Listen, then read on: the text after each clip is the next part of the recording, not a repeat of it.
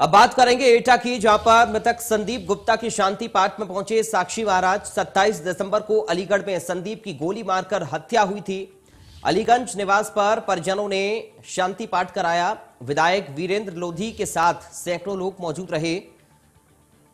Covid 19 की guideline का यहाँ पर पालन किया गया और साक्षी महाराज भी पहुँचे।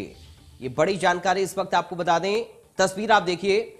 मृतक संदीप गुप्ता की शांति पाठ में पहुँचे हैं साक्षी महाराज।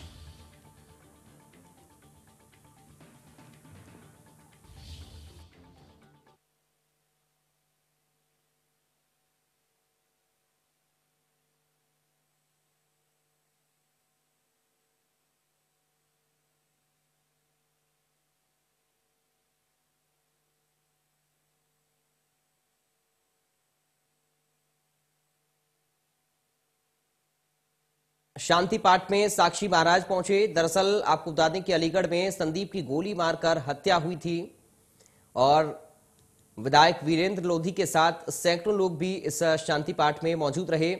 साक्षी महाराज पहुँचे अलीगंज निवास पर। परिजनों ने ये शांति पाठ कराया है।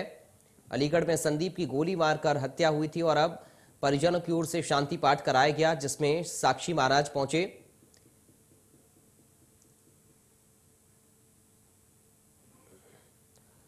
संदीप गुप्ता जी और संदीप के परिवार से मेरा बहुत ही निकट का घनिष्ठ संबंध था।